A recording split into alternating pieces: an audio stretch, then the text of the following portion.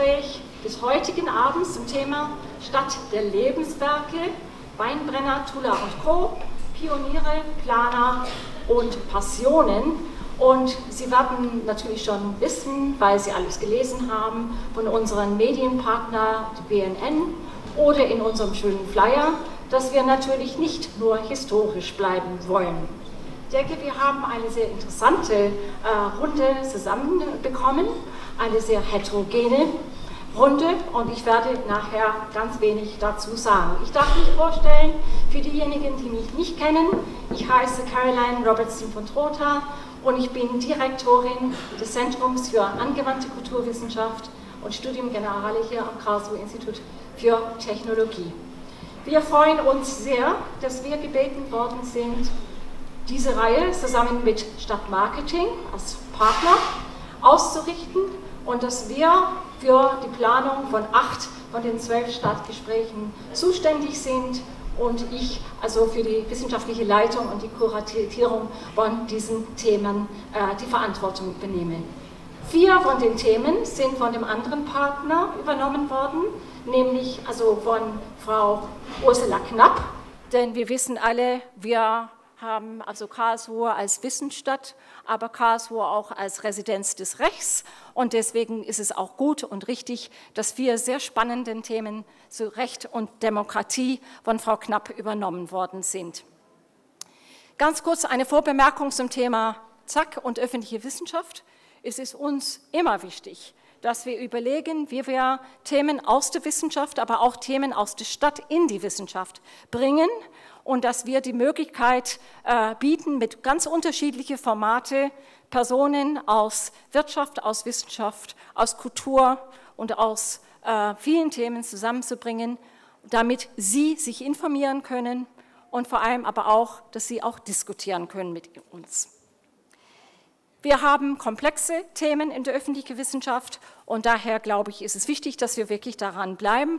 Und ich freue mich sehr, dass jetzt bei dem vierten von unseren acht Themen dass wir hier Full House wieder haben und das zeigt uns auch, dass es richtig ist, dass wir diese, äh, diese Themenreihe gemacht haben, obwohl wir jetzt sozusagen August und Hauptferienzeit haben. Aber genug der Vorrede, jetzt will ich ganz, ganz kurz ähm, also überlegen bzw. Ihnen sagen, äh, was wir heute gedacht haben bei unseren Themen. Natürlich habe ich meinen Zetteln wieder durcheinander gebracht, aber das macht gar nichts.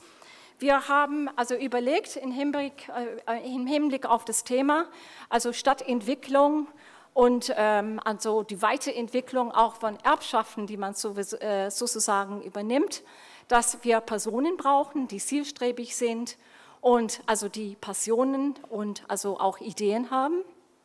Wir brauchen Institutionen, die sie tragen.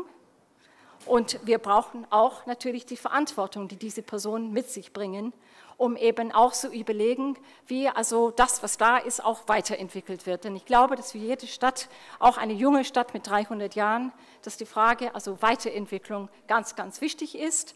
Und wir werden in diesem äh, Zusammenhang auch sehen, natürlich, dass Infrastrukturen, also von der Architektur, die eine große Rolle spielt, oder aber auch unsere öffentlichen Verkehrsmittel heute auch also eine große Rolle, spielt, dass sie in dieser Stadt immer eine große Rolle äh, gespielt haben. Aber als ich jetzt äh, die Reihe zusammengetan habe, habe ich überlegt, wie war es, und das erzähle ich gerade als kleines Anekdötchen als Studentin, wir haben auch immer gesehen, die Stadt oder gedacht, die Stadt ist eine Beamtenstadt. Und das galt ein bisschen als also verstaubt und langweilig. Und ich glaube, dass heute Abend mit unserer Reihe werden wir diese Stereotypen sehr grundlegend widerlegen dass wir sehen, also dass auch die Weiterentwicklung der Stadt sehr, sehr häufig, also sehr zielstrebig von Amtsträgern auch weiterentwickelt äh, worden ist. Und daher freue ich mich, dass wir in unserer Runde, die ich nicht vorstellen werde, weil sie gleich vorgestellt werden, einmal in unseren kleinen ähm, Einstimmungstrailer äh, aber auch von unserem Moderator, nämlich ich bin sehr froh, nämlich dass wir äh, natürlich wieder Markus Brock als, für die Moderation gewinnen konnten, als Profi, der das gleich übernehmen wird. Also wir werden wie immer es jetzt so machen, dass wir den kleinen Einspielfilm haben Und dann wird Markus Brock die einzelnen Referenten auf äh, die Bühne ähm, also bitten und sie im Näheren vorstellen. Wir werden dann also etwa 40 Minuten, 45 Minuten eine sicherlich sehr interessante Diskussion haben und dann werden wir Sie bitten, sehr gerne Ihre Fragen zu stellen und Ihre äh, Kommentare dazu abzugeben. Ganz herzlichen Dank.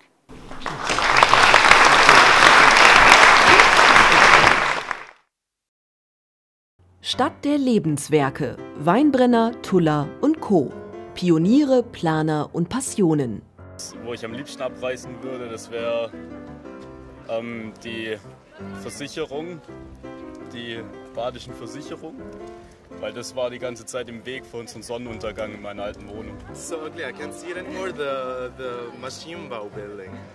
Hinterm Bräuninger, da ist ein sehr altes Mietshaus, das äh, stört eigentlich das Stadtbild, das könnte wirklich verschwinden. Das neue Gebäude am Dullacher Tor, was gerade erst gebaut wurde wegen den Baustellen, grau und hässlich und blockig, das könnte man gerade wieder abreißen. Den Altbau von der BIP. Das finde ich wirklich grauenvoll. Zum Schlosspark, diese, diese Reihe, das finde ich toll, wenn man da fährt. Also das ist schon was Tolles. Das Naturkundemuseum mag ich ganz besonders. Der Turm vom, vom Schloss. Maybe some of the cathedrals. Also alle historischen Gebäude, alles was ein bisschen älter ist. Ich finde die alten Stadthäuser sehr schön, natürlich die Schlösser. Die sind alle wunderschön. Schloss, auf jeden Fall Schloss. Neben klassizistischen und barocken Bauten, Fachwerk- und Jugendstilhäusern bietet Karlsruhe auch avantgardistische Beispiele des neuen Bauens, wie die Dammerstock-Siedlung, die nach einem Entwurf von Walter Gropius, dem Vater des Bauhauses, gebaut wurde. Die moderne Stadt ist das Ergebnis der Werke und Lebensprojekte, die damit einhergingen. Friedrich Weinbrenners Klassizismus prägte das heutige Gesicht der Fächerstadt. Zu seinen Werken gehören die Nord-Süd-Achse, die Pyramide, das Rathaus, das Großherzog-Karl-Denkmal oder die evangelische Stadtkirche, in deren Gruft der bedeutsame Architekt seine Ruhestätte fand. Der Ingenieur Johann Gottfried Tuller ist in die Geschichte der Stadt unter anderem als der Rheinbegradiger eingegangen. Auf einer Strecke von 266 Kilometern wurde der Verlauf des Flusses korrigiert. Tuller gründete die Karlsruher Ingenieurschule, die später durch den Zusammenschluss mit Weinbrenners Architekturschule zur Polytechnischen Hochschule wurde, einem Vorläufer der späteren Universität Karlsruhe und dem heutigen Karlsruher Institut für Technologie. Die Realisierung von Ideen ist stets verbunden mit Veränderungen des Bestehenden. So haben alle Projekte von der Rheinbegradigung bis zum Bau der U-Bahn ihre Für- und Widersprecher. Über die Stadt der Lebenswerke diskutieren die Pianistin Frau Professor Fanny Solter, der Ingenieur und Ehrenbürger der Stadt Karlsruhe Dr. Dieter Ludwig, die Architekturprofessorin Frau Professor Kerstin Gothe und der Stadtarchivar Dr. Manfred Koch. Markus Brock moderiert. Diskutieren Sie auch mit.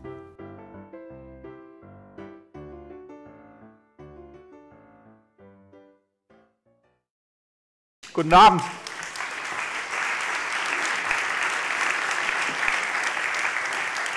Auch von meiner Seite herzlich willkommen. Toll, dass so viele gekommen sind zu diesem doch sehr vielschichtigen Thema. Vielen Dank, Frau Professor Robertson von Trotha, für die Einführung. Und wir haben noch einen Überraschungsgast, der nicht im Film drin ist. Ich werde Ihnen die Dame gleich auch vorstellen. Ähm, wir sind nämlich zusammengesessen und haben gesagt, ja, wir hätten eigentlich noch gerne jemanden, der die Aufgabe hat, ein Lebenswerk fortzuführen. Denn das ist ja auch ein Ding. Eins zu schaffen ist eine Sache, aber dann so große Schuhe zu bekommen und zu sagen, jetzt mach du das mal weiter, schwierig. Man sagt ja immer, ich glaube, die, die erste Generation baut auf, die zweite Generation hält und die dritte verspielt es. Sie ist in der zweiten. Werden wir nachher hören. Ähm, aber wir machen es der Reihe nach. Auf jeden Fall wird das äh, natürlich wild hin und her gehen. Wir werden zwischen den Themen springen, aber werden doch bei den Lebenswerken, die es für eine Stadt gibt, werden wir doch feststellen, dass es erstaunlich viele Parallelen gibt, wie es Frau Robertson von Trotha schon angedeutet hat. Ich darf sehr herzlich auf die Bühne bitten, Frau Prof. Dr. Fanny Solter. Sie ist weltweit gefeierte Pianistin, war ab 1976 Professorin für Klavier und Klavierkammermusik und ab 1984 dann 17 Jahre lang Rektorin der Staatlichen Hochschule für Musik in Karlsruhe und hat sie ganz entscheidend geprägt. Sie zählt auch zu den gefragten Juroren bei bedeutenden Klavierwettbewerben in aller Welt, hat Meisterkurse überall auf diesem Planeten gegeben, Moskau, Tokio, Jerusalem, Spanien, Italien, Brasilien, Argentinien hat äh, den Verein Pro Arte in Königsbach-Stein gegründet, äh, deren erste Vorsitzende und künstlerische Leiterin sie seither ist, hat die Musikschule Westlicher Enzkreis ganz wesentlich mit angestoßen, war Mitbegründerin und erste Vorsitzende der Internationalen Händel-Akademie in Karlsruhe und sie ist natürlich für ihr großartiges Engagement vielfach geehrt worden. Also ein Leben für die Musik, aber eben nicht nur in der Musik, sondern auch wirklich für die Musik. Ich darf Sie sehr herzlich auf die Bühne bitten. Schön, dass Sie da sind. Dann ein Mann, den ich niemand in Karlsruhe vorstellen muss und in der ÖPNV-Szene in der Welt, in der ganzen Welt, ich sage es ganz bewusst, auch niemand vorstellen muss. Dr. Dieter Ludwig, äh, viele nennen ihn ja den äh, Straßenbahnpapst, das ist er auch. Er kriegt, äh, ich moderiere ab und zu Kongresse zum Thema Nahverkehr. Das ist ein Thema, das mir sehr am Herzen liegt. Und da kriege ich immer mit, mit was für einer Ehrfurcht. Also die werfen sich eigentlich alle vor ihm in den Staub, vor dem, was er geleistet hat. Er ist langjähriger Geschäftsführer der Verkehrsbetriebe Karlsruhe, der AVG, der KASIG, des KVV und Ehrenbürger der Stadt Karlsruhe.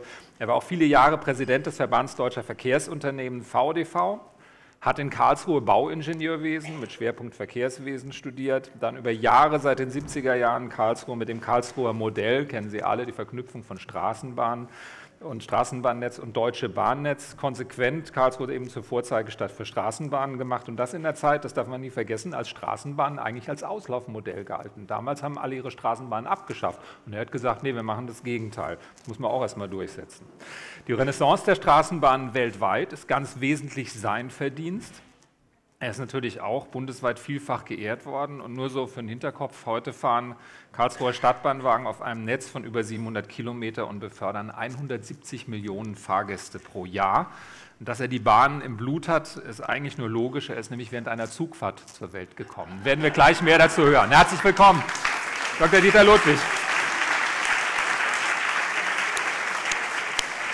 Dann haben wir bei uns Professor Kerstin Gothe, Stadtplanerin und seit 2004 Professorin am Institut Entwerfen von Stadt und Landschaft an der Architekturfakultät des KIT.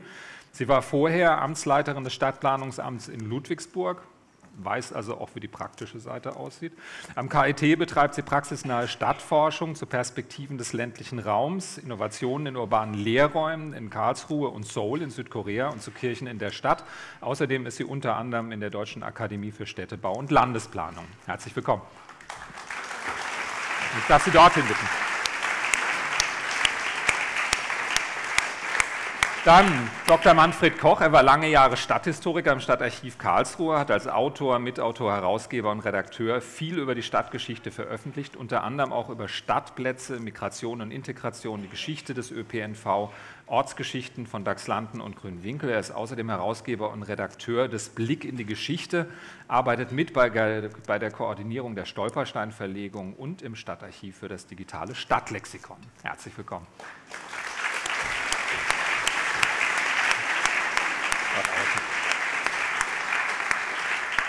Und last but not least, äh, die Dame, die nicht mehr in den Film reingepasst hat, was daran lag, dass der Film schon fertig war, als wir sie ähm, noch ähm, begeistern konnten, heute Abend bei uns zu sein. Daniela Bechtold-Schwabe, die ein Lebenswerk übernommen hat und fortführt. Seit knapp fünf Jahren ist die studierte Wirtschaftsingenieurin mit Fachrichtung Unternehmensplanung, geschäftsführende Gesellschafterin der BIG-Gruppe mit Sitz in Karlsruhe, die ihre Eltern Gisela und Bernd Bechtold, er langjähriger IHK-Präsident, gegründet und groß gemacht haben.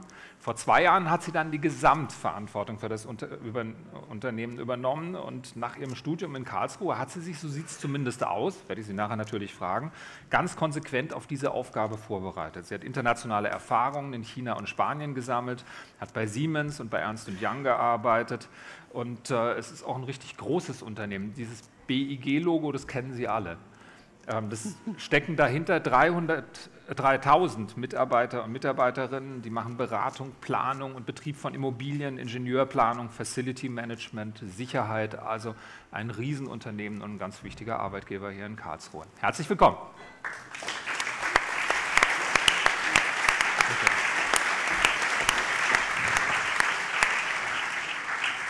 Aber lieber Herr Ludwig, jetzt müssen Sie uns erstmal erklären, ob diese Geschichte wirklich stimmt. Sind Sie im Zug zur Welt gekommen? Ja, das ist richtig, aber ich habe es nicht so mitbekommen, ich war zu jung. Meine Mutter ist Ostpreußin, wir haben in Danzig bin ich aufgewachsen. Mein Vater war äh, aus Mannheim und dann ist meine Mutter zu meinem Vater gefahren mit der Eisenbahn und äh, dann waren wir, aber wir sind übers Ruhrgebiet umgeleitet worden, weil da sehr viel äh, kaputt war zwischendurch. Und dann musste, musste mein Vater, ich war immer ungeduldig, Mensch, ich konnte es gar nicht schnell genug kriegen. Und so kam ich auch drei Wochen vorher auf der Welt, mitten in der Eisenbahn. Mein Vater musste dann irgendwie schnell heißes Wasser holen. Das konnte er nur bei der Lokomotive bekommen, beim Tender. Und dann hat er mal geguckt, wo wir da stehen. Und das haben wir nachher das Signal eingemessen. Und da kam eben raus, ich bin in Dortmund geboren. Ich habe Dortmund 30 Jahre lang nicht mehr gesehen. Aber ich bin Dortmunder, nicht? Und in der Eisenbahn geboren. Das war ein Zeichen für das ganze Leben. Offensichtlich, denn das war ja eigentlich immer klar, sehr früh schon, dass Sie dahin wollen, genau dahin, oder? So ist es. Ich war von Anfang an, ja. Von, der, von Geburt aus, nicht? nicht?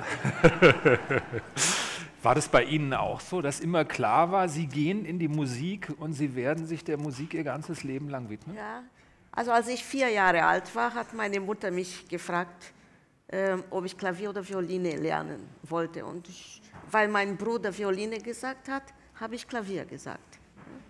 Und so fing es an. Mhm. Und ein paar Jahre später, ich glaube, es war ein oder zwei Jahre später habe ich im Kino einen Film gesehen mit Arthur Rubinstein, wie der spielte. Und da habe ich zu meiner Mutter gesagt, ich will spielen wie er. Ja? Und so war es dann festgelegt. Und Ihre Mutter hat nicht gesagt, äh, also gut, gut karlsruherisch würde es heißen, ich glaube, dass du spinnst. Nein, nein. Als Sie gesagt haben, ich will wie Rubinstein spielen. Nein, sie hat immer alles, äh, alles versucht und alles getan, damit ich Toll. weiterkomme. Nun ist es eine Sache, wie Rubinstein zu spielen, eine andere Sache ist es auch noch Rektorin einer Hochschule zu werden und das auch noch in schwieriger Zeit und die immer weiter aufzubauen. Das war von Anfang an klar, dass Sie mehr tun wollen, als Klavier zu lehren und zu spielen? Oder? Eigentlich nicht. Zufall. Eigentlich nicht. Eigentlich nicht. Also ich war ja, ich habe in Freiburg studiert an der Hochschule.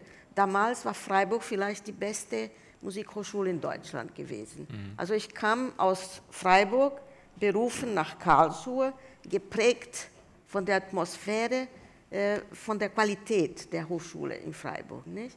Und es war so, erstens muss ich sagen, meine Berufung bekam ich, oder den Ruf bekam ich am 31. Dezember 1975. Mhm. Und ich habe den damaligen Rektor Eugen Werner Felte gefragt, wieso äh, wird so äh, eine Korrespondenz am letzten Tag des Jahres äh, geschrieben, verschickt und so weiter. Und er sagt, ja, er wollte das unbedingt machen, weil es gab die Gefahr, dass die Musikhochschule Karlsruhe geschlossen wird, aufgelöst wird. Mhm. Ja. So kam ich in diese, in diese Situation, kam ich nach Karlsruhe. Und ich war die Professorin Nummer 8. Ich war die erste, achte Professoren überhaupt an der Musikhochschule in Karlsruhe. Nicht? Wir sind heute 48 davon. Ja?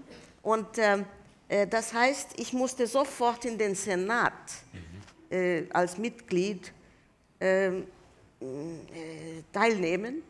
Und es ist halt so, wenn ich eine Meinung habe, kann ich nicht still sein. Ja?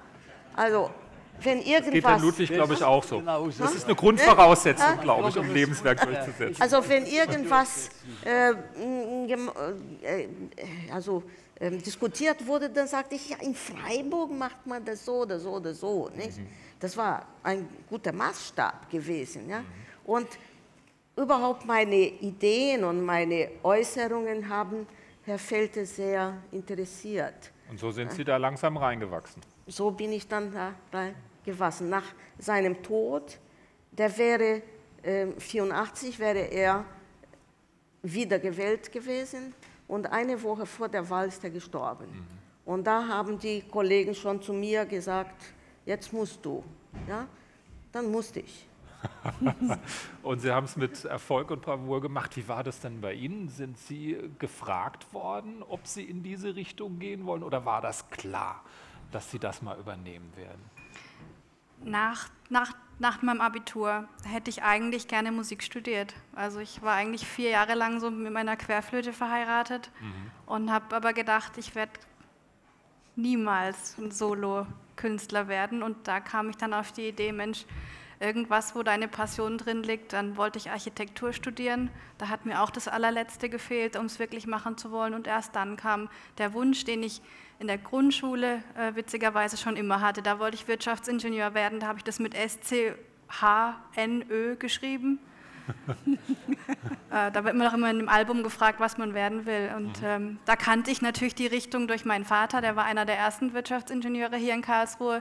Aber trotzdem wollte ich eigentlich erstmal mal austesten, will ich nicht doch was anderes machen. Und dann habe ich mir das angeschaut und habe gesagt, das ist eigentlich die richtige Verbindung. Also wenn eher Maschinenbau statt BWL und die Mischung war dann schon das Richtige für mich. Also Ihre Eltern haben nie gesagt, Mensch, mach doch und haben nicht die Hände über dem Kopf zusammengeschlagen, als Sie gesagt haben, ach, ich will Querflöte studieren. Also mein Vater hätte gerne gesehen, dass ich Musik studiere. Echt? Ja. Und er hat dann gesagt, bist du wirklich sicher? Er hatte eher Angst, dass ich das eher aus, aus ihm zuliebe oder so mache. Und als Sie es dann studiert haben, war dann klar, dass Sie ins Unternehmen reingehen? Also es klingt schon ein bisschen so, aber ich habe mich immer gerne beschäftigt mit dem Unternehmen. Ich war immer im Unternehmen und habe äh, Studienarbeiten gemacht und, und habe die Leute kennengelernt. Das ist einfach etwas, was man gerne macht und der Weg war überhaupt nicht vorgezeichnet. Also ich hätte danach auch gerne was anderes gemacht zunächst. Und wirklich erst, als ich die, als ich Sie hatten es vorhin gesagt, bei der Unternehmensberatung war und gerade sagte, jetzt kündige ich, ich möchte was anderes machen, dann sagte er, oh, jetzt musst du nachdenken jetzt oder nicht. Äh, das war dann 2009. Ähm, und dann erst hat er gesagt, überlegst dir, du musst nicht, aber du kannst. Und ich habe mir dann ein halbes Jahr Zeit genommen, um zu überlegen, ob ich das wirklich will. Und wie schwierig ist es, in solche Fußstapfen reinzutreten? Und auch als das Kind, das wahrscheinlich früher im Unternehmen rumgesprungen ist, dann auf einmal als erwachsene Frau da reinzukommen und zu sagen, so, ich bin jetzt der Chef? Ähm, also ich glaube, man kann alles äh, bis zu Ende denken, aber wenn das richtige Bauchgefühl ist und man sich zutraut, dass man ein Solokünstler wird oder dass man was bewegen kann und dass man unternehmerisches Blut schon immer hat, also man wird dazu irgendwie geboren, man ist es, da kann man studieren, was man will. Und ich glaube, das habe ich immer mitgebracht. Ich habe immer irgendwelche eigenen Dinge gemacht und so habe ich mir schon vorstellen können, dass wenn ich mich verwirklichen will, dann als Unternehmer und wenn ich dann auch noch in ein Unternehmen komme, was sowieso schon immer kreativ war, dann hat sich das einfach richtig angefühlt. Und würden Sie auch sagen, wichtige Grundvoraussetzung, um so ein Lebenswerk fortzuführen oder um es, wie es Ihre Eltern geschafft haben, zu schaffen, erstmal ist, dass man den Mund nicht halten kann, dass man seine Meinung hat und seinen Weg geht, unbeirrt von dem, was da links und rechts kommt? Also wer mich kennt, weiß, dass ich mich immer zurückhalte und nie meine Meinung sage. Guck mal zu Ihrem Mann rüber. er lacht. Was würden Sie sagen als Historiker? was, sind die, was sind die Grundvoraussetzungen, um den Biss, das Durchhaltevermögen zu haben, ein Lebenswerk zu schaffen in dieser Dimension? Es ist im Grunde genommen die Leidenschaft für die Vergangenheit, aus der man dann wiederum die Gegenwart erklären kann. Nicht voraussagen, aber immerhin erklären. Das ist eine der Grundvoraussetzungen. Ich bin dazu gekommen, ich hatte äh, verschiedene Optionen während des Studiums. Ich wollte Dramaturg am Theater werden, ich wollte Lektor in einem Verlag werden oder die dritte Alternative war eben Lehrer. Mhm. Dann hatte ich das Glück, dass nach dem Examen äh, der Professor zu mir kam und gefragt hat, ob ich nicht an einem Forschungsprojekt eine Quellenedition zum Ersten Weltkrieg mitmachen möchte. Dann habe ich gedacht, gut, das ist Buchproduktion, das ist, geht in die Richtung, die ich eigentlich wollte. Und da bin ich dann eingestiegen und habe gedacht, Schule kann warten. Und äh, es ist nichts mehr aus der Schule geworden, es ist beim Forschen und Produzieren von Büchern geblieben. Wenn Sie jetzt schauen auf, auf berühmte Karlsruher, die große Lebenswerke geschaffen haben, auf Weinbrenner, auf Tula, ähm, auf Nebenius, der Ihnen ja ganz, ganz wichtig ist. Wir kennen alle die Nebenius-Schule in, in, Karlsruhe, aber so genau, was der Nebenius gemacht hat, weiß man gar nicht. Können wir vielleicht nachher noch ähm, drauf zu sprechen kommen. Sind das Leute, die einen ganz besonderen Biss mitgebracht haben, eine ganz besondere Vision? Die Lokalgeschichte ist voll davon. Also wir haben überall, wo Sie hinschauen, äh, Leute, die Vision hatten, die Großes geleistet haben. Und ich möchte jetzt die Gelegenheit nicht auslassen, weil vorhin das Stichwort Beamtenstadt gefallen ist. Mhm. Das wird ja immer pejorativ gemeint. Langweilig, äh, träge, uninspiriert. Man kann dem aber auch eine andere Wendung geben. Man kann sagen, die kreativen Köpfe in Karlsruhe, die Wissenschaftler und, und, und, viele, sehr viele waren Beamte. Mhm. Insofern verdankt die Beamtenstadt Karlsruhe eben den Spitzenbeamten, die auf dem Apparat fußen, sehr, sehr viel. Mhm. Das nur als kleine Randbemerkung zum Thema auch Beamtenstadt. Beamter. Auch Dieter Ludwig auch war Beamter, Beamter, ja. Ja, ich war auch Beamter. Ich weiß. Weil ich, ich, könnte Ihnen jetzt eine ganze Reihe von Beamten aufzählen, äh, angefangen von Tulla, Weinbrenner, Nebenius, über Baumeister, den Stadtplanungserfinder oder den Erfinder der Stadtplanungstheorien, äh, bis hin zu Sloterdijk und Riem. Alles Beamte. Hm. Darf man nicht vergessen, wenn man sagt Beamtenstadt. Ja, man meint natürlich ja. was anderes damit. Ne? Aber ich habe auch gelernt, eben auch mal abends nach dem Feierabend zu arbeiten. Als Beamter habe ich bei Kurt Stengel gelernt, das war auch der ehemalige Werkleiter aus Karlsruhe, der hat mich abends von 8 bis 22 Uhr, also von 20 bis 22 Uhr beschäftigt. Nicht? Also wir mussten auch als Beamte noch arbeiten. Nicht? Hat sich ja sowieso, das muss man ja wirklich sagen, ziemlich gewandelt. Von wegen da um halb vier nach Hause gehen, nicht? Und äh, da hat der öffentliche Dienst einen ganz falschen Touch bekommen. Das, war, das ist sehr gut, dass Sie das mal auf den Tisch legen, was wir alles geleistet haben. Ja. Nicht? Nun haben wir gerade immer wieder von Visionen gesprochen. Helmut Schmidt hat mal gesagt, wer Visionen hat, soll zum Arzt gehen. Ja. ja das ist ein guter Karlauer, äh, nicht? Aber es ist eben die Frage, ob diese Art Visionen vorzubringen, wie sie so zum Beispiel von Weinbrenner formuliert worden sind oder ähm, äh, und äh, wie sie dann auch persönlich vertreten worden sind, ob das wirklich heute bezogen auf Planung, bezogen auf Stadtplanung, noch der Weg ist. Äh, ich bin der Meinung, ähm, es hat sich eben etwas verändert, weil ähm, weil im Grunde genommen an vielen solchen äh, äh, Projekten sehr viele Leute beteiligt sind. Insofern würde ich sagen, Herr Ludwig, Sie sind eine rühmliche, beeindruckende Ausnahme. Äh, ja, aber äh, ich glaube, das ist eine eher ungewöhnliche äh, Sie stellen sozusagen einen Typus dar, der eher ungewöhnlich gewesen ist und das Typische heute, wenn man sozusagen Ideen oder Visionen umsetzen will, dann geht es eigentlich darum, viele Verbündete zu finden und äh, auch Menschen zu überzeugen, mitzunehmen und in diesem Prozess unter Umständen auch Visionen wieder zu verändern. Ähm, äh, und unter Umständen mal fallen zu lassen. Mhm, das wird ja auch zunehmend schwieriger, große Projekte umzusetzen. Ja. Kommen wir vielleicht gleich noch drauf. Ja. Aber ich möchte noch mal kurz bei Weinbrenner nachfragen. Ja. Wie war das denn bei dem damals? Naja, Weinbrenner ist ja eigentlich eine interessante Person, weil er auf der einen Seite vom Fürsten eingesetzt war und auf der anderen Seite aber schon die bürgerliche Stadt geplant hat. Mhm. Und ich war, ich war jetzt in dieser tollen Ausstellung und äh, da ist mir dann aufgefallen, wie viele seiner Projekte auch gar nicht umgesetzt worden sind. Auch er hat schon die Erfahrung machen müssen, es gibt nicht genug Geld oder das Projekt ist zwar schön, aber es will dann doch keiner. Und ähm, äh, er hat ja wahrscheinlich, ich würd, das werden Sie genauer wissen, aber ich vermute mal, dass er fast doppelt so viele große Gebäude für Karlsruhe geplant hat, wie nachher gebaut worden mhm. sind. Ähm, vielleicht ist es auch übertrieben, die typische Übertreibung, aber äh, jedenfalls deutlich mehr ähm, äh, hat er geplant, als gebaut worden sind. Aber er hatte doch zumindest einen äh, Chef sozusagen ja. hinter sich, der, der an das geglaubt hat, was er gemacht ja. hat. Ja, also und das war natürlich auch ganz wichtig. Also um zum Beispiel so etwas wie diese, äh, ähm, diese Achse über die Plätze bis zum Ettlinger Tor, um so etwas umzusetzen und dabei auch noch eine Kirche abzureißen. Dazu muss man ja schon auch eine politische Kraft hinter sich haben. Und die das hatte heute er schwierig, ne? Da gibt es ein paar Bürgerinitiativen dagegen wahrscheinlich. Wahrscheinlich, ja. Das wäre wär nicht ganz so einfach. Übrigens, das Haus, das am, am Marktplatz hängt, ähm, bei diesen wunderbaren Kunstirritationen des ZKM ist auch ein Weinbrennerhaus. Ich weiß nicht, ob Sie das wissen. Das ist, äh, das ist tatsächlich aus einer Häuserzeile in der Zeringer Straße isoliert rausgenommen. Normalerweise hat es links und rechts noch Häuser dran und äh, ist aber ein Original-Weinbrennerhaus, das da nachgebaut worden ist in Leichtbauweise und da jetzt mit den Wurzeln so schön hängt. Man muss es schaffen, als Visionär die Politik hinter sich zu bringen, sonst geht es nicht. Ne? Und Sie haben das ja, ich habe es vorhin ja. gesagt, in der Zeit geschafft, wo alle gesagt haben, Straßenbahn weg, Busse, Autos, wir brauchen keine Straßenbahnen mehr. Aber immerhin, der Günter Klotz war der, der, diese, der das verhindert hat, dass man die Straßenbahn stilllegte. Es waren die Gutachter ja da und die sagen, weg mit dem alten, mit dem alten äh, Karren da. Das ist nur störend. Das stört uns alle.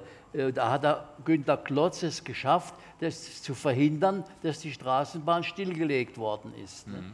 War es nur der Günter Klotz oder waren nicht auch Sie da schon hinterher? nee, da, da war ich noch nicht da. Ich bin, der Günter Klotz hat mich zwar eingestellt, aber und ich habe mal ein, paar Aufsichtsratsvorlagen in seine Wohnung bringen können, habe mir seine Frau geöffnet und sagte ich, guten Tag, Frau Oberbürgermeisterin. Und dann brüllte der da hinten, Moment, Oberbürgermeister bin ich, das ist meine Frau. und, da sind wir, und da sind wir ganz schnell sehr befreundet worden. Mit Günter Klotz konnte ich sehr gut, ich habe sie ja alle erlebt, den Seiler, den Fähnrich, den Otto Dullenkopf nicht. Und mhm. ich bin da vor den 300 Jahren, bin ich ja 40 Jahre hier in Karlsruhe, habe ich ja gearbeitet.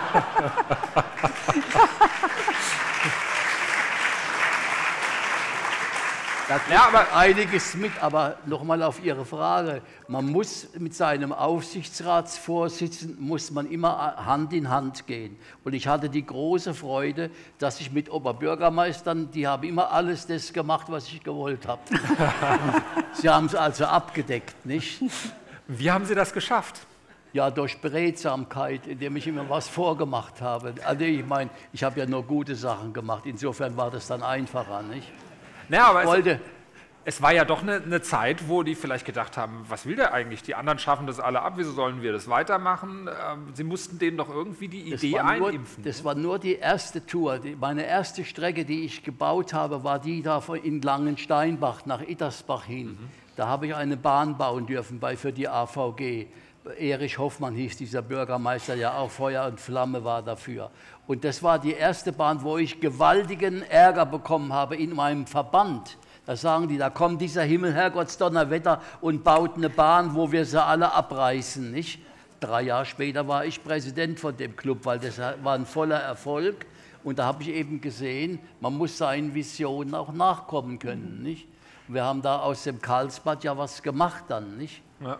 ja, und ist es nicht ganz wichtig, die Taktik zu haben? Die Frage geht auch an Sie der Politik das einzuimpfen, die Idee, dass die hinterher losmarschieren und denken, das war meine Idee. Ja, ja. Also man muss sich richtig. selber zurücknehmen können. Man muss das haben, das ist völlig richtig. Man muss eben dem, dem, Oberbürgermeister das Gefühl geben, der Mann hat recht und das hat er, ich muss das auch vertreten, dass er dann meiner Meinung ist, nicht? Das ist ja die große Kunst, die eigene Meinung dem, dem jeweils im Aufsichtsratsvorsitzenden beizubringen, dass das richtig ist. Nicht? Mhm. Und das ist mir eigentlich immer gelungen. So, so funktioniert übrigens auch große Politik. Ich habe mal ein sehr interessantes Gespräch mit Horst Telschik gehabt, dem ehemaligen Sicherheitsberater von, von Helmut Kohl.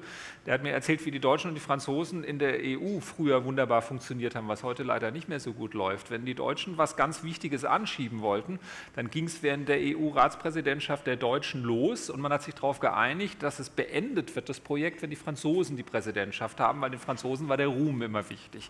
Und die Deutschen haben gesagt, Hauptsache es wird gemacht. Ne? Also das ist eigentlich genau das Ding. Er impft ein und dann kann sich hinterher jemand stolz hinstellen, sagen, ich habe es geschafft und egal, Hauptsache man hat das Ziel erreicht.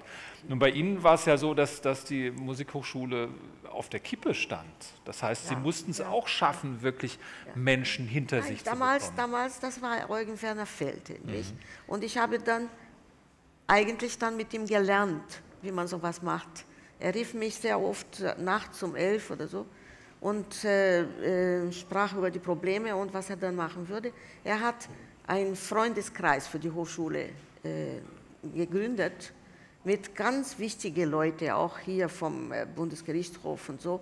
Und die haben dann dafür äh, ge gearbeitet, damit die Hochschule weiter existiert. Mhm. Und es gab, es gab während meiner Amtszeit so viele Momente, wo auch in der Zeit von Lothar Späth, ja, wo ich irgendwann so Anruf kriege, kriegte vom Ministerium, ja, wie ist das, können wir Herr so und so, ich sage nicht der Name, äh, bei Ihnen als Professor äh, positionieren, der möchte nach Baden-Württemberg und so. Ne? Sag, ja, was kriegen wir denn dafür? Ne? Und dann kam die letzte Frage von Herrn Speth. Ja? Äh, was sagt die Frau Solte, wenn wir die Professur, die sie möchte, nicht geben? Dann sagte ich, dann gibt es kein Deal. Ja? Und so kam, kam der Herr so und so nach Karlsruhe, aber er wurde gleich am selben Tag beurlaubt, nicht? so dass wir kein Problem mit der Person hatten, bis er dann pensioniert wurde und so weiter. Und, ähm, aber wir haben die C4-Professur bekommen, die dann an Renate Ackermann ging. Und das war ein unglaublicher Erfolg für die Hochschule. Hm. Das war die Frau, die dann äh, die Opernschule aufbaute für das Niveau, das wir heute noch davon profitieren. Mhm.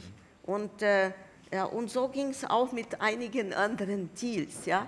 Also Herr Speth war sehr gut für Deals. Ja, das, das, muss man sagen. Ja, und er hatte, er hatte ein Herz für die Kultur. Ne? Das sehr. ist natürlich auch ganz wichtig. Wirklich. Das braucht man. Ein sehr starken Herz. Und gehabt, Sie hatten auch ja. in, der, in der Stadt großen Rückhalt, auch politischen Rückhalt, oder? Ja, also mit Herrn Seiler habe ich sehr viel zu tun gehabt wegen Grundstücke. Nicht? Mhm. Weil, ähm, also während meiner Amtszeit ähm, musste ich für verschiedene Bauten für die Hochschule ähm, arbeiten. Äh, das Schloss bekam ich als Erbschaft mhm. äh, im Rohbau. Mhm. Also ich musste zusammen mit Frau Jakobait äh, dieses Haus zu Ende bauen, was eine tolle Aufgabe war, auch mit Kunsthistoriker und so weiter. Nicht? Äh, und, ähm, und dann ging es eins nach dem anderen. Nicht? Dann kam das Marstallgebäude und da hatte ich mit Seiler zu tun, mhm. weil wir brauchten ähm, auch die Unterstützung der Stadt.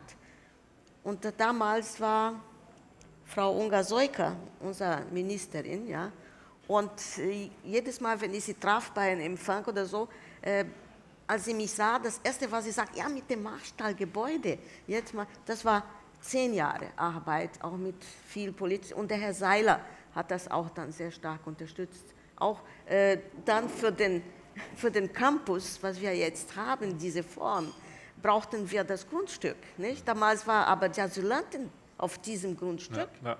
Ja? Und äh, es gab dann ein Deal mit dem BGV. Mhm. Äh, der BGV brauchte ein Grundstück, das unser war. Und wir brauchten aber dieses Grundstück, was dem Bund angehörte.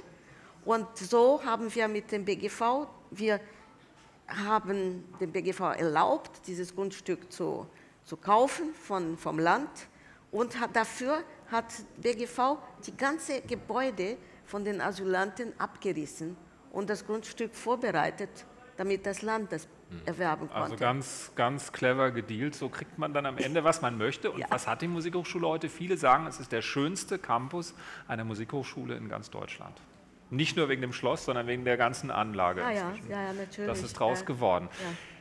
Nun merkt man, da muss geschachert werden, da muss man mal äh, Leuten Ideen einimpfen, da muss man auch mal zurücktreten bei den eigenen Interessen. Ähm, mit der Wirtschaft ist das wahrscheinlich etwas anders, oder? Wenn, wie war das, als Ihre Eltern dieses Unternehmen aus dem Nichts aufgebaut haben? Wie haben, wie haben die das gemacht? Was gab es da für Widerstände? Man muss einfach eine gute Idee konsequent verfolgen, oder? Oder ist das auch so, dass man immer irgendwelche Deals machen muss? Also zunächst fand ich mal, möchte ich auch mal ganz kurz noch zu dem, was vorher besprochen wurde, sagen, ich glaube nicht, dass es irgendwann leichter oder schwerer ist, irgendwelche Projekte umzusetzen. Denn auch wenn ich meine Eltern frage, oder auch wenn ich mit, mit äh, Älteren spreche, die, die große Projekte umgesetzt haben. Und ich denke, auch Sie, Herr Dr. Ludwig, werden mir zustimmen. Es war immer schwierig, zu seiner Zeit irgendwas umzusetzen und man musste eine Vision haben und man musste sie einfach, man musste selber Ecken und Kanten haben und ähm, dann einfach auch Menschen gewinnen. Und ich glaube, das gewinnende Wesen ist auch in der Wirtschaft wichtig. Meine Eltern haben mit sechs Mitarbeitern begonnen, das Unternehmen zu gründen. Das war sicherlich vom ersten Tag an schwierig, was Sie mir erzählen, dass es einfach Sie müssen sechs Menschen vom allerersten Tag an in Lohn und Brot halten und die Aufträge suchen, aus einem sehr, sehr guten Verdienst, den mein Vater vorher hatte, diesen Schritt zu gehen. Ich war ein Jahr alt, meine Schwester ein, zwei Jahre alt. Es war sicherlich keine leichte Situation, auch kein vermögendes äh, äh Elternhaus. Aber meine Großmutter ist dann mit eingestiegen, aber jetzt mit keinem Vermögen, sondern einfach mit Haus und Hof mitgesichert. Und ich glaube, das habe ich auch mitbekommen. Also dieses wirkliche Unternehmertum, und mein Vater kommt nach Hause und strahlt und erzählt jeden Tag, als wäre es das tollste Geschäft der Welt. Und ich glaube, so ist es auch im Unternehmertum. Sie müssen andere Menschen mitreißen. Sie müssen, auch wenn es mal nicht so läuft, einfach immer sagen, aber es geht weiter. Und ähm, der Weg, die Visionen, wo soll das Unternehmen hingehen? Ich glaube, das, das ist etwas, wo Sie Menschen mitnehmen müssen. Ich möchte hier in der Stadt immer Kitas bauen, weil wir für Unternehmen auch Einrichtungen machen. Wir sind gerade zwischen dem Schloss Gottesaue und dem BGV. Also wir haben für die beiden Einrichtungen eine Kita, die wir auch betreiben. Und es gibt so viel Nachfrage und jetzt muss ich auch immer die Stadt und alle wieder überreden, dass sie uns äh, Bauplätze zur Verfügung stellen. Da muss ich auch viele dicke Bretter bohren, mhm. dass es da überhaupt was gibt. Und so gibt es auch wirtschaftliche Themen. Bis man ein Grundstück findet in Karlsruhe, um sich zu erweitern, da muss man auch dicke Bretter bohren, weil wir wenig Gewerbefläche in Karlsruhe haben. Also es gibt immer wieder Projekte, wo sie viele Menschen mitnehmen müssen und dann auch sagen, es ist für ein gutes Ziel und alle wollen, dass wir hier weiter bleiben. Und so gibt es ganz viele Themen in der Wirtschaft, wo Mitnehmen und Visionen haben ganz wichtig ist. Aber ich glaube, es ist. Äh, man muss Menschen begeistern können, nicht? Das ist das Entscheidende.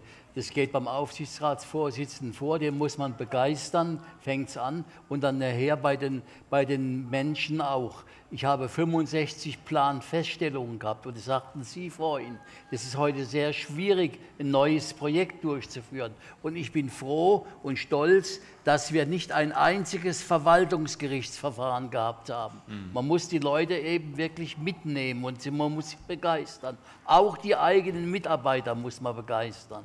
Ja, aber wenn man sich jetzt heute die großen Widerstände anguckt, die es immer wieder bei Großprojekten mhm. gibt. Ich meine, Stuttgart 21 ist als mhm. leuchtende Beispiel. Ich ähm, verweise immer wieder gerne auf einen sehr schönen Artikel von ein paar Monaten in der Süddeutschen Zeitung. Mhm. Großer Artikel, wie geht Karlsruhe mit seinen Großbaustellen um, wie geht Stuttgart damit um? Mhm. da ist die badische Gelassenheit doch wirklich hoch gepriesen worden.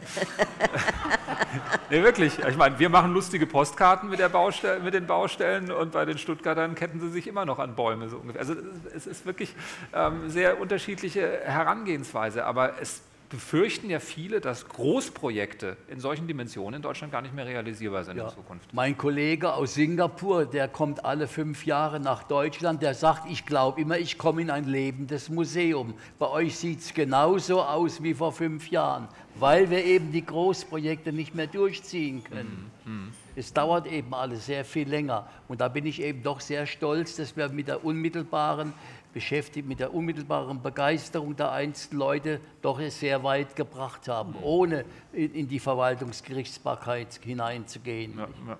ja aber Sie haben ja vorhin ja. angedeutet, ne? das, das geht heute nicht mehr so. Ich glaube wirklich, dass es schwieriger ist. Ich glaube natürlich, Sie haben völlig recht, Visionen sind nötig und es ist auch nötig, äh, äh, sozusagen andere für die eigene Sache zu begeistern und für bestimmte Ideen zu begeistern. Und äh, ich glaube auch, dass es wichtig ist, da sozusagen einen langen Atem zu haben. Gleichzeitig ist es so, dass wir hier in Stuttgart, äh, Quatsch, hier in Karlsruhe die Erfahrung gemacht haben, das Dörfle. Ja, das Dörfle sollte abgerissen werden und es sollten dort Hochhäuser hin. Das waren auch Visionen unserer Vorgänger, also meiner, der Architekten, die mich ausgebildet haben, mhm. sozusagen.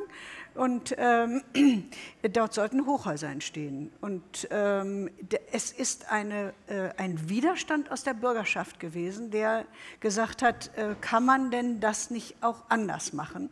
Und im Grunde genommen äh, waren ja dann anschließend eigentlich alle auch sehr froh damit. Also man, äh, dass das Dörfle jetzt wenigstens in Teilen stehen geblieben ist und dass diese Hochhäuser an der Stelle nicht entstanden sind. Äh, ich stimme Ihnen zu, Herr Ludwig, dass, ähm, dass das sozusagen wenn man es aus Fernost betrachtet, kommt einem Europa manchmal vor wie ein Museum. Ähm, da gehört das dann sicher zu, aber nun richten wir uns ein da drin. Und diese, ähm, diese Lösung mit dem Dörfle, die ist seinerzeit also auch richtig ähm, bundesweit bekannt gewesen als ein Beispiel für die erhaltende Erneuerung. Ähm, und es ist ein Beispiel dafür, dass man eine Vision eben auch mal ändern muss. Also äh, ich kann es nur so in den Raum stellen. Das ja? ist eben Voraussetzung, dass Sie eine Vision hatten, wo Sie glauben, dass es wirklich besser ist. Wenn ich daran denke, was ich für viele Schwierigkeiten hatten, ja. in der Sudetenstraße, in der Richtung Heide oben, da habe ich Volksaufstände gehabt. Beim, beim, bei der amerikanischen Casino habe ich gedacht, die werden mich verhauen. Und da, kaum war die Bahn fertig gewesen, kamen sie mit großer Begeisterung. Ja und haben gesagt, das ist eine gute Sache. Man muss sich das, und das muss man eben vorher fühlen, ja. ob man damit durchkommen kann. Nicht? Ja. Oder ich denke an Wildbad zum Beispiel. Da hat mir der Apotheker hat mich mit Goebbels verglichen, weil ich da auch Begeisterungsreden gehalten habe. Und kaum ist die Bahn dann gelaufen und die Menschen kamen und es war ein voller Erfolg, hat er mir eine Kiste Champagner geschickt und sagt, das hätten sie gut gemacht. Ja. Das ist ja meine Prognose auch für Stuttgart 21, weil wenn man sich ja. die Stuttgarter Geschichte ja. der letzten 60, 70 Jahre anguckt, dann äh, Fernsehturm wollten alle nicht haben. Mhm. Grässlich Fernsehturm, jetzt sind sie alle stolz drauf. Messe in Stuttgart wollten alle nicht haben. Jetzt wird sie völlig geräuschlos nochmal mhm. gewaltig erweitert und alle freuen sich, dass sie eine schöne Messe haben. Und wenn der Bahnhof funktioniert, mhm. wo es ja durchaus Zweifel ähm, immer wieder gibt, ob das wirklich so funktioniert, ähm, dann glaube ich, werden die Stuttgart auch ganz glücklich mit ihrem Bahnhof mhm. sein wahrscheinlich. Also äh, man muss wahrscheinlich wenn Sie in die Geschichte gucken, werden Sie das wahrscheinlich bestätigen. Man muss manchmal auch Widerstände überwinden und immer dranbleiben, weitermachen, durchstehen, oder? Durchstehen, ja. Keine Frage. Widerstände sind da eben überwunden zu werden. Ähm, wo immer Sie hinschauen, als Tula angefangen hat, den Rhein zu begradigen, haben ihm die Knielinger einen Aufstand geliefert. Ähm, es ist überall das Gleiche, wenn ein Visionär kommt. Wenn jemand sagt, da ist die große Lösung. Dann kommen die Kleinen und sagen, dass vor unserer Haustür geht das nicht, wir wollen das nicht. Mhm. Äh, keine Veränderung in meinem Umfeld. Das muss sie nur in die Gegenwart schauen. Äh, Windparks, Stromtrassen, äh, Großprojekte, überall. Oder jetzt ganz konkret heute in der Zeitung, ein neues Finanzamt in der Oststadt. Was passiert? Die unmittelbaren Anlieger, die beschattet werden durch ein höheres Haus, machen Widerstand. Also wo immer Projekte im großen Maßstab angegangen werden, gibt es von den unmittelbar Betroffenen, die Veränderungen erfahren, in ihrem Umfeld immer Gegnerschaft. Ja, und wie überzeugt man? Einfach indem das Projekt so gut ist, dass man die Mehrheit hinter sich bringt oder indem man die richtigen Deals macht? Oder? Man muss den Menschen die Angst nehmen. Man, man muss, ihn, man muss sie sozusagen mitnehmen, man muss sie äh, in die Projekte früh einweihen, ihnen sagen, was kommt und ihnen sagen, welche Verbesserungen es für sie bringt. Mhm. Nicht nur die Verschlechterungen, mhm. sondern die Verbesserungen zeigen. Das zeigt der Blick in die Geschichte all überall. Nun haben wir in Karlsruhe ja, ich weiß nicht, ob Sie es mitverfolgt haben, gab es auch hier im Pavillon einen Diskussionsabend dazu. Ähm, gerade die Diskussionen laufen über ein räumliches Leitbild für die Stadt, mhm. wo gefragt wird, wo soll sich denn Karlsruhe als Stadt baulich hinentwickeln. Da gab es eine sehr schöne Ausstellung in der Fleischmarkthalle im, im Schlachthofareal. Hier wurde diskutiert, der Prozess ist jetzt so weit, wo drei große Planungsbüros einbezogen worden sind ähm, und da sozusagen der, der, die Quintessenz aus den, aus den drei Entwürfen ähm, kondensiert wurde. Jetzt geht es in die Politik und wird weitergetragen. Ist das denn was, wie man in Zukunft Großprojekte noch konsensfähig machen kann, wenn man es schon in so frühen Stadien mit der Bürgerschaft diskutiert, wie das da passiert ist? Es ist ein Versuch. Also äh, das ist eben der Versuch, äh, quasi nicht mit einer ganz konkreten und genauen Vision zu kommen, sondern eigentlich mal zum Beispiel zu sagen, wir lassen mal eine Ideenkonkurrenz zu. Es gibt hier drei Büros, da geht es jetzt nicht um die Frage, wer hat am Ende das Beste, die beste Lösung, sondern es geht um die Frage, ähm, wer hat eigentlich für welches Problem die interessanteste Lösung. Und vielleicht sind am Ende verschiedene Aspekte aus den drei Lösungen, die, die dann sozusagen zu der Vision führen. Das Ziel ist natürlich eine, äh, eine tragfähige Vision über die wichtigsten Fragen für die nächsten 20, 30 Jahre zu haben. Das finde ich auch nach wie vor wichtig. Mhm. Aber es ist eben ein anderer Weg, um, ihn, äh, um, um dieses Ziel zu erreichen. Ähm, und äh, das Besondere dabei ist eben, dass auch zu einem Zeitpunkt, wo man jetzt äh, noch gar nicht genau wusste, wie geht das eigentlich aus, äh, sind diese Dinge öffentlich diskutiert worden in sehr gründlichen ähm, Besprechungen. Die sind auch gut besucht gewesen. Trotzdem ist natürlich, kann es passieren, dass im nächsten Schritt dann genau wieder das passiert, was Sie jetzt gerade angesprochen haben, nämlich dass dann die Anlieger eines konkreten Projektes, was vielleicht Inhalte dieses Leitbilds umsetzen will, äh, kommen und sagen, nee, aber hier nicht bei uns im Garten. Da wollen wir keinen Schatten haben oder da, mhm. äh, dieser Baum darf nicht gefällt werden und so weiter.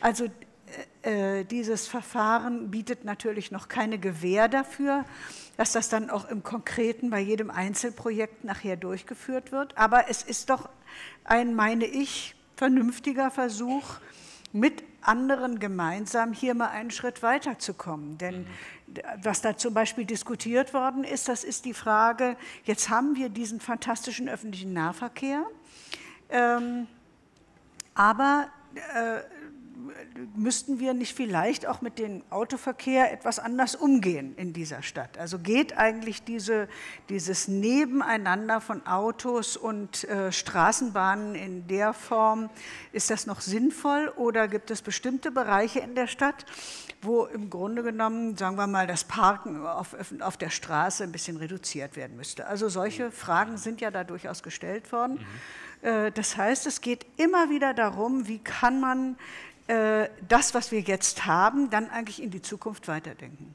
Ja, ja, ja, es ist so, dass wir als ÖNV-Gewaltiger habe ich nie das Auto als Gegner betrachtet. Es war ein Mitbewerber. Aber wir können heute unsere Probleme in unserem Verkehrswesen nur dann lösen, wenn wir es miteinander gestalten. So ja. haben wir zum Beispiel 15.000 Park- und Reitplätze überall in der Region gebaut. Ich habe in Wörth ein Parkhaus gebaut damit wir das Auto da möglichst stützen und abfangen können, damit sie, bevor sie in die Stadt fahren.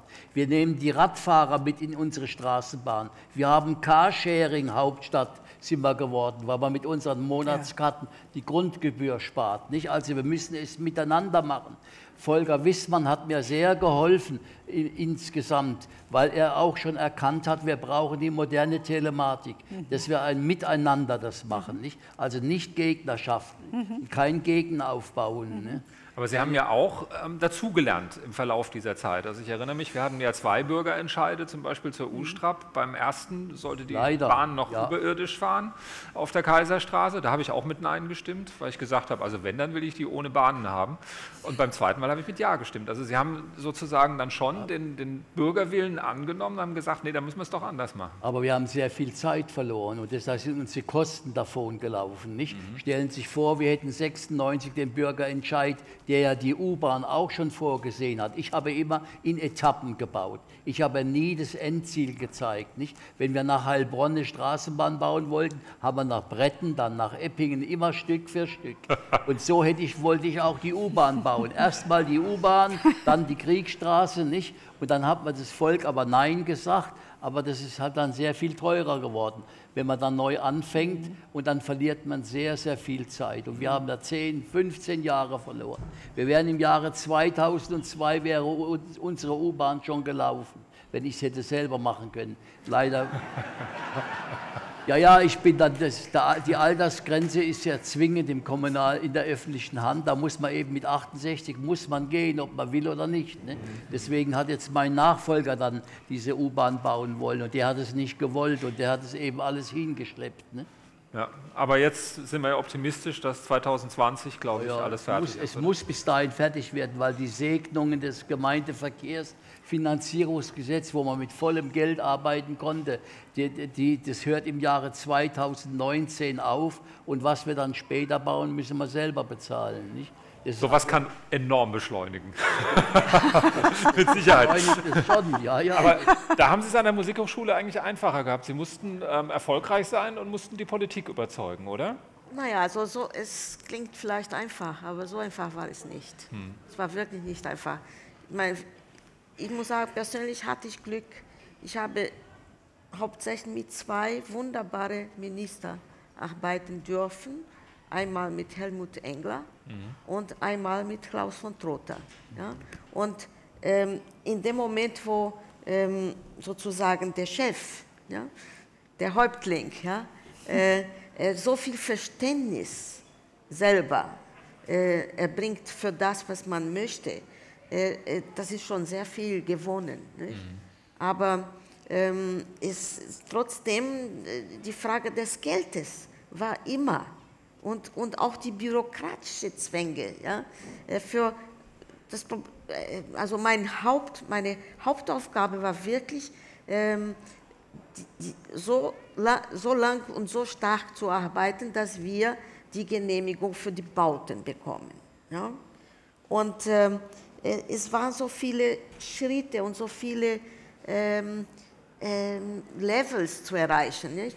weil auch das, äh, der Bund war ja mit dabei, nicht? Mhm. Bis, bis dann äh, entschieden wurde zwischen Bund und Land, dass die Länder zuständig sind, auch für Universitäten, für Hochschulbauten. Nicht? Und es waren so viele. Sie merken, wie eine gewiefte Politikerin aus einer Pianistin geworden ist ne? im Lauf der Jahre. naja, es musste sein. Und ich muss sagen, ich habe auch, muss ich sagen, damals habe ich darunter gelitten. Aber es war ein Glück für mich. Ich hatte einen sehr schlechten Verwaltungsleiter gehabt. Mhm. Also ich musste lernen, einen Haushalt lesen zu können, ja? Mhm. Titel und so weiter. Ich musste äh, lernen, alles, was eigentlich äh, zu der Arbeit der, des Verwaltungsleiters gehörte. Nicht? Mhm. Und äh, äh bis äh, er irgendwann mal einen Prozess gegen mich äh, ja, initiiert hat und verloren hat. Dann hat er beschlossen, dass er doch lieber woanders gehen sollte. Nicht? Aber ähm, das war natürlich, weil äh, dadurch musste ich wirklich unglaublich viel lernen. Mhm. Ja? Und ich hatte auch im Ministerium, unser Referent für die Musikhochschulen hieß äh, Klaus Schmidt. Der ist inzwischen auch in Pension. Und der Klaus Schmidt kannte mich schon, bevor ich Rektorin war. Und ähm, wir hatten eine wunderbare äh, Verbindung. Ja? Also die war ja so gut, dass äh, irgendwann haben meine hm, voll neiderfüllte Kollegen, Rektoren, irgendwann mal Gerüchte gesetzt, äh, dass der Klaus Schmidt und ich wären ein Paar. Mhm. Nicht? Weil natürlich eine Frau kann nur auf solche Wege Dinge erreichen. Nicht? und, äh, und, äh, aber wir haben wirklich fantastische Arbeit, Zusammenarbeit geleistet. Also die Chemie muss, glaube ich, immer stimmen Eben. mit den richtigen Leuten und dann, dann kriegt man das hin. Ja. Chemie muss stimmen. Das ist, das ist noch ein ganz gutes Stichwort zu einem anderen Aspekt, ähm, wo ich noch kurz darauf zu mhm. sprechen kommen möchte, was die Stadtentwicklung von Karlsruhe angeht. Also wenn man, im Moment kann man es nicht ganz so genießen, mhm. aber wenn mal alles fertig ist und man kann sehen, was Weinbrenner da geschaffen ja. hat und auch was für schöne Straßenräume mhm. Karlsruhe als Stadt hat, wie großzügig diese Stadt angelegt ist ähm, und trotzdem menschliche Dimensionen hat, mhm. im Weinbrennerschen Sinne fragt man sich, warum das Stadtplaner heute so schlecht hinkriegen. Denn dieses große Misstrauen gegenüber dem, was da heute so entworfen wird, ist ja nicht ganz unberechtigt. Es gibt ja viele moderne, unmenschliche Plätze, unmenschliche Architekturen, die gegen die Menschen regelrecht mhm. gebaut sind. Ich mag moderne Architektur, aber ich frage mich immer, warum kriegen die Räume nicht so hin, dass die Menschen sich da wohlfühlen? Also die Karlsruher Steinwüstenplätze, die moderneren, sind ja oft auch solche. Ich habe jetzt gehört, der Marktplatz wird wieder eine, soll eine Steinwüste werden. Da müssen wir jetzt langsam mal Widerstand gegen leisten. Wurde letzte Woche veröffentlicht. Also warum ist das so? Warum haben die das früher hingekriegt, schöne Plätze zu schaffen, Aufenthaltsqualität zu schaffen? Und warum ist das heute oft anscheinend unfassbar schwer? Wenn man sich jetzt die Neubauten auf dem S21-Gelände in Stuttgart anguckt, das ist ja auch traurig, was da gebaut wurde. Es ist natürlich schwierig, jetzt da sozusagen auf diesen pauschalisierten äh, Vorwurf zu antworten. Ich denke mir teilweise, ja, oder gut, äh, auf diese Frage. Ähm, ich denke mir, es gibt verschiedene Aspekte dabei. Das eine ist sozusagen Faktor Zeit. Also ähm, es hat zum Beispiel in Stuttgart ist, in, ist, der Marienplatz neu gestaltet worden. Dabei sind viele Bäume abgerissen worden. Es sind aber neue gepflanzt worden, und zwar Kastanien. Die werden eine enorme räumliche Wirkung haben, wenn sie mal 20 Jahre alt sind, aber nicht heute. Ja, heute sind das solche äh, zarten Bäumchen, die da stehen, die nimmt man noch gar nicht richtig wahr. Da muss man sozusagen etwas Geduld haben. Das ist der, der eine, eine Faktor. Ja, der zweite Faktor ist, dass es häufig äh, sie, also wird der Platz erst gestaltet und die Randnutzungen kommen dann so nach und nach.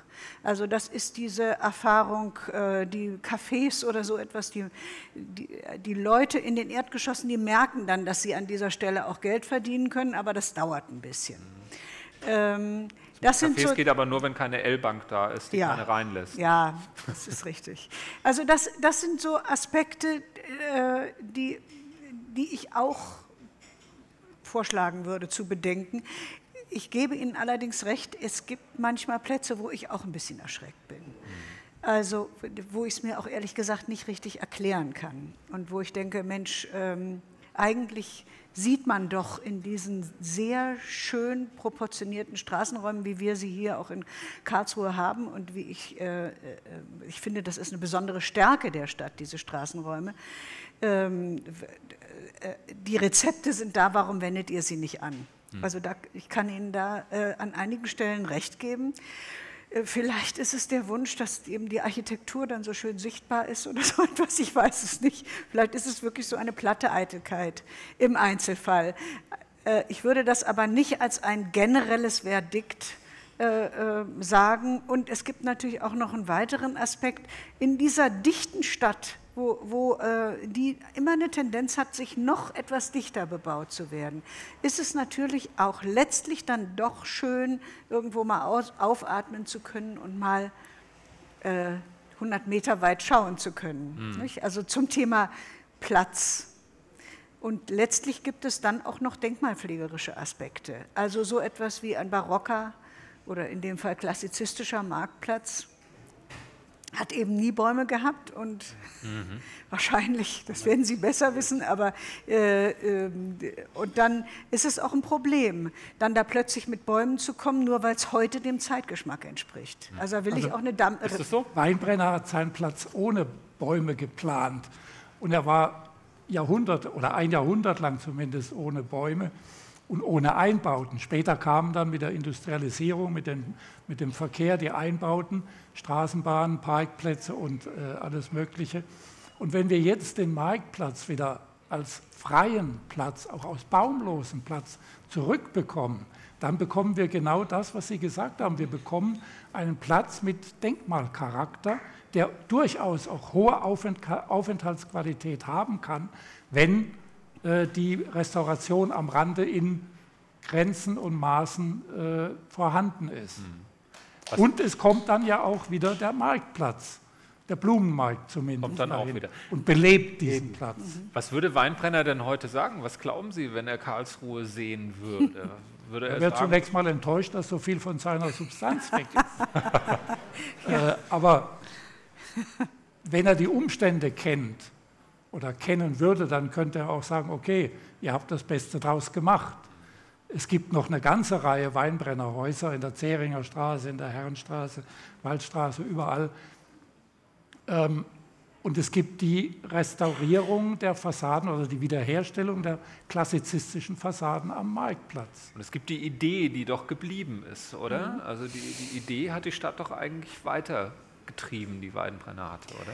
Naja, nicht alle. Also mhm. diese Diagonalen äh, äh, jenseits des äh, Ettlinger Tors, also südlich des Ettlinger Tors, die, die existieren zwar, aber sind dann eigentlich zugestellt und so weiter. Also die Idee hat schon Mühe, sich zu, ähm, äh, noch sichtbar zu, zu, werden. Es gibt einen einzigen Strahl, der bis in die Südstadt Ost durchgeht, ja, die genau. Waldhornstraße. Ja. Aber das ist natürlich immer schwierig, wenn man ja. das Lebenswerk dann sozusagen abgibt und andere treiben das weiter. Ich meine, ich glaube, Dieter Ludwig hat Fakten geschaffen, die auch in 100 Jahren noch ähnlich sein werden, oder? Sind Sie zufrieden, wie es jetzt läuft? Ich habe ganz andere Probleme, nicht?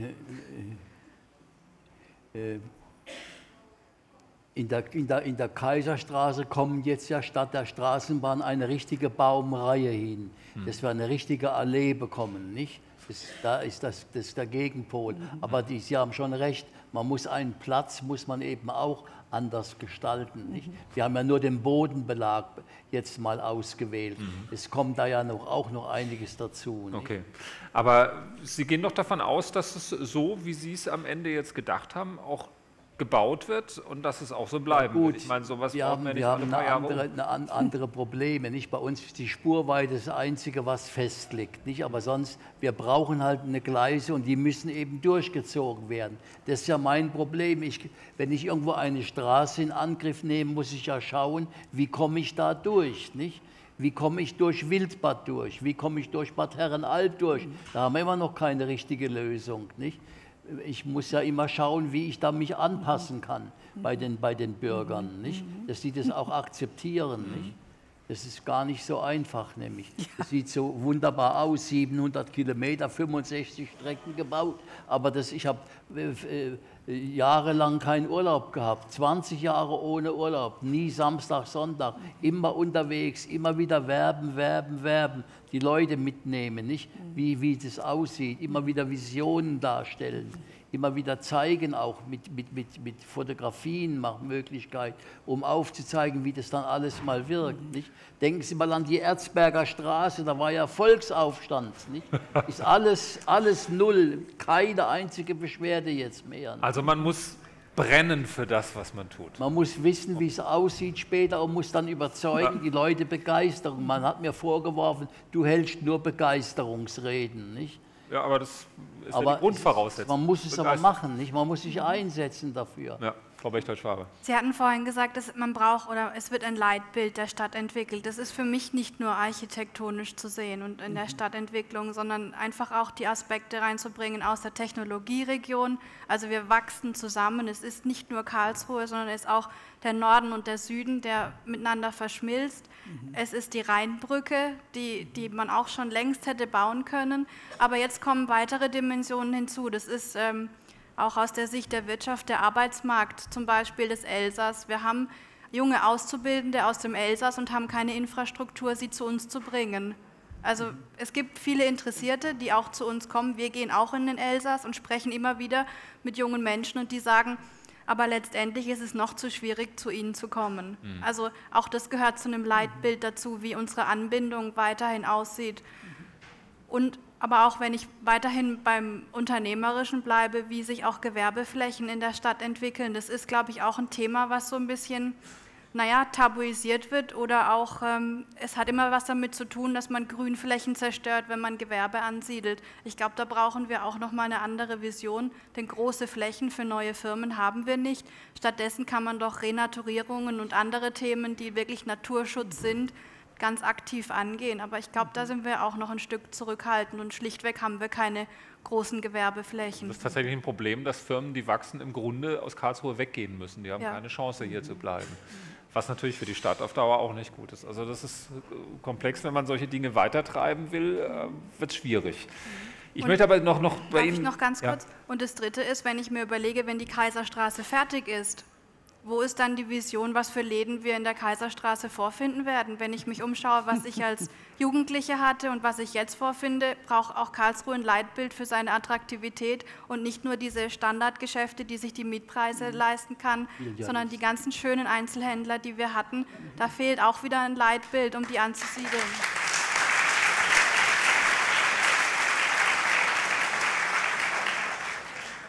Das wäre dann jetzt ein anderes Diskussionsthema, wo wir auch sehr ausgiebig nochmal mit ein paar Verantwortlichen aus der Stadt reden könnten.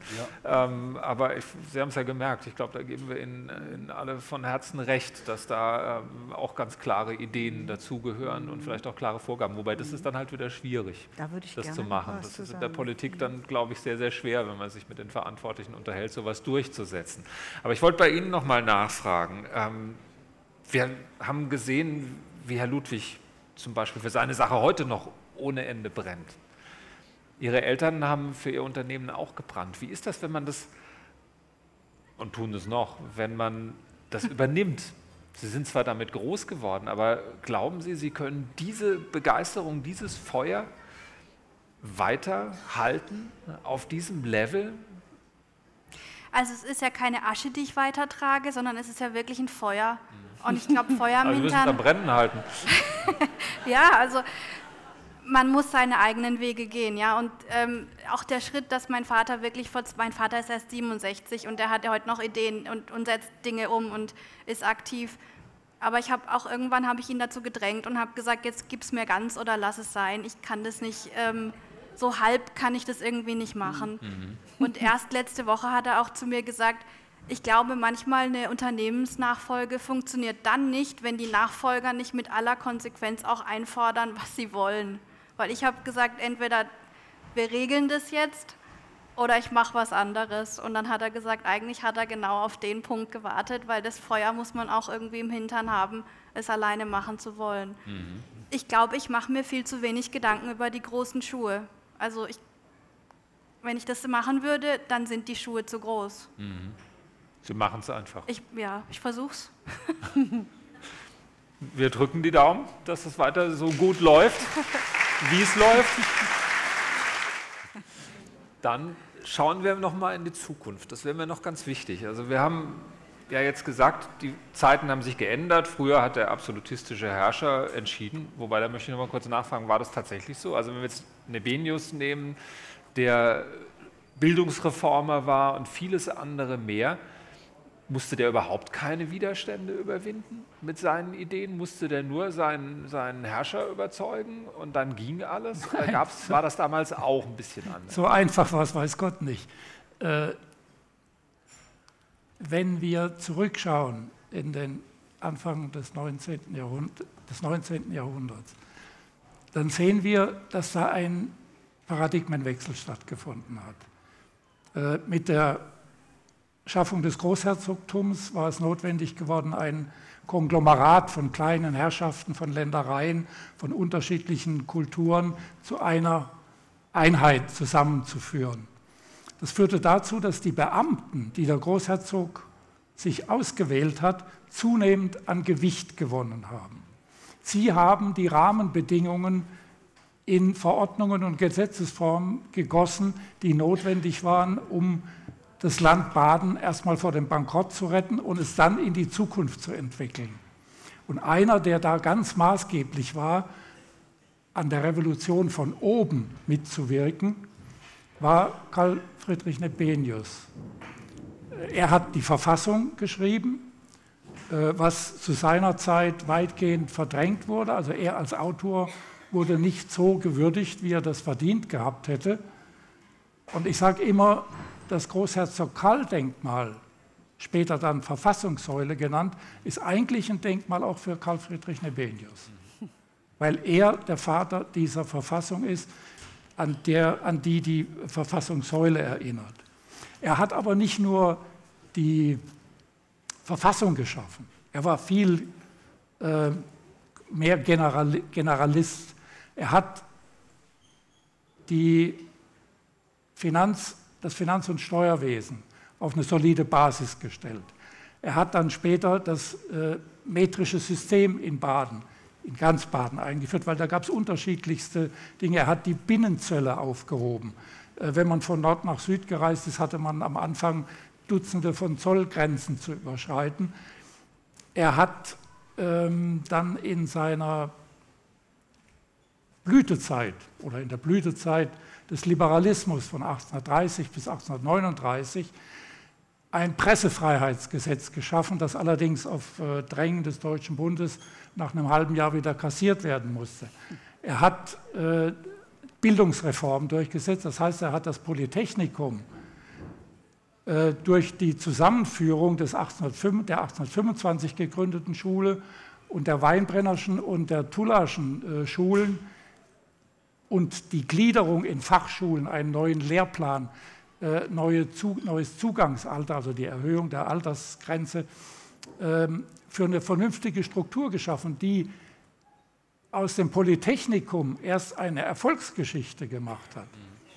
Und er hat dann noch die Zehnten und die Fronen abgeschafft. Er hat ähm, den Zollverein schon 1819 angedacht hat verhandelt mit den süddeutschen Staaten über einen Zollverein, also eine Vergrößerung des Wirtschaftsgebiets. Aber der musste nicht wie Dieter Ludwig eine Begeisterungsrede nach der anderen halten, um das durchzusetzen. Der musste die Leute nicht in dem Maße mitnehmen, wie das Er hat wurde. selber dafür gesorgt, dass die Leute mitgegangen sind. Mhm. Er war nämlich auch ein großer Propagandist. Ah, also er hat es auch gemacht. Er hat Zeitungsartikel geschrieben, er hat Broschüren verfasst.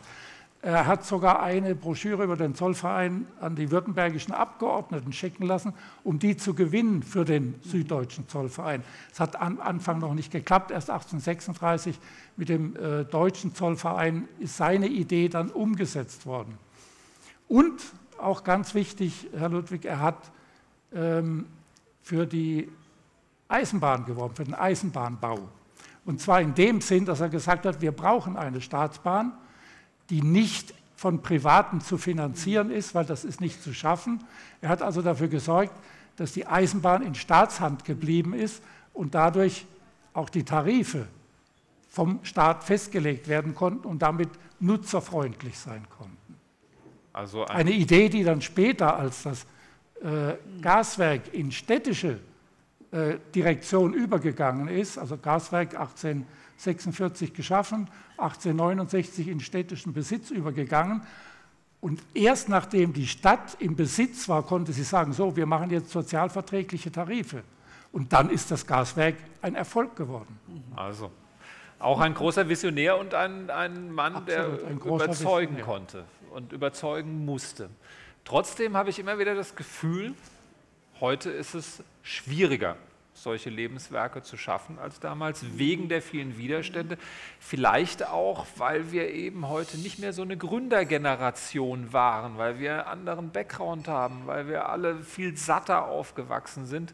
Wenn ich mich umschaue, zumindest jetzt in Fernsehsendern zum Beispiel, wo ich Einblicke habe, aber auch in manchen Unternehmen habe ich das Gefühl, da sind die Leute viel mehr zahlengetrieben als früher. Da werden weniger Bauchentscheidungen gefällt, da wird eher so abgewogen und man mogelt sich so ein bisschen um Entscheidungen drumherum. Ähm, das sind ja nicht die idealen Voraussetzungen, um große Lebenswerke zu schaffen. Also, Wie sehen Sie das? Ich würde da mal abwarten. Äh, die IT-Wirtschaft in Karlsruhe gilt ja als äh, in Deutschland führend. Ja. Warten wir mal 20 Jahre ab, was für Weltfirmen hier noch entstehen. INIT ist ja schon ein gutes Beispiel. INIT ist ein gutes Wobei, apropos Gewerbeflächen, INIT hat jetzt auf sanften Druck der Stadt, aber sicher auch gern gesehen, in die Höhe entwickelt. Und mhm. das wird die Zukunft sein, auch für Gewerbegebiete und Gewerbeflächen. Mhm. Nicht mehr die Kisten, die ein- oder zweigeschossigen auf der Fläche, sondern es wird in die Höhe gehen müssen. Aber ich Herr Schwabe, Sie haben vorhin ja schon gesagt, Sie glauben das nicht, dass es schwieriger heute ist. Sie glauben wirklich, es ist möglich, solche Werke noch zu schaffen. Es wird irgendwann auch ein neuer Dieter Ludwig kommen, eine neue Fanny Solter und werden auch solche Werke schaffen. Also das Gute an der jüngeren Generation ist ja, dass es nicht wirklich beurteilen kann. Also wir wachsen so, muss man ja so sagen, ja, wir wachsen so auf, wir machen ein Studium, wir, wir äh, wachsen in eine gewisse wirtschaftliche Situation hinein und dann können wir sagen, entweder wir stecken jetzt den Kopf in den Sand oder wir sehen die Möglichkeiten. Und erstens finde ich, also die, ich habe jetzt auch lange in München gewohnt, die Entscheidung, nicht nur ins Familienunternehmen zu kommen, sondern auch ganz bewusst meinen Lebensmittelpunkt wieder nach Karlsruhe ist nicht zuletzt ist eine, eine der schönsten Städte, die ich kenne. Wir haben so viele ich gehe jetzt mal, ich mache jetzt mal kurz eine Kurve um die Baustellen, die wir haben, aber ansonsten Grünfläche noch und nöcher, große Plätze, Großzügigkeit, die, die, die Nähe äh, in den Kraichgau oder ganze, ganze wunderschöne Hügelland, ähm, auch, auch Durlach, alles, also wunderschöne Gegenden. Ähm, und auch die, die sage ich mal, die Mentalität Karlsruhe 300 Jahre ist ja unheimlich jung im Vergleich zu dem, was eigentlich äh, drumherum ist.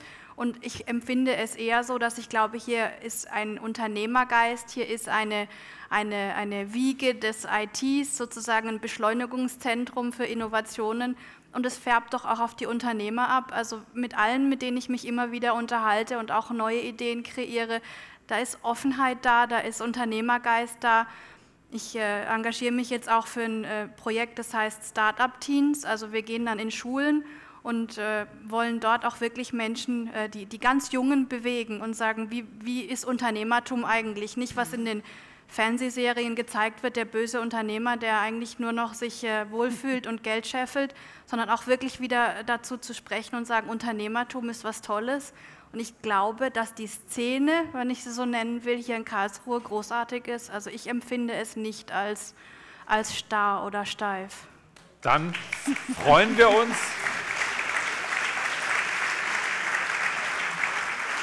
Dem kann man eigentlich nichts mehr hinzufügen. Dann freuen wir uns auf viele spannende neue Lebenswerke, die wir in den nächsten Jahren und Jahrzehnten hoffentlich alle noch erleben werden.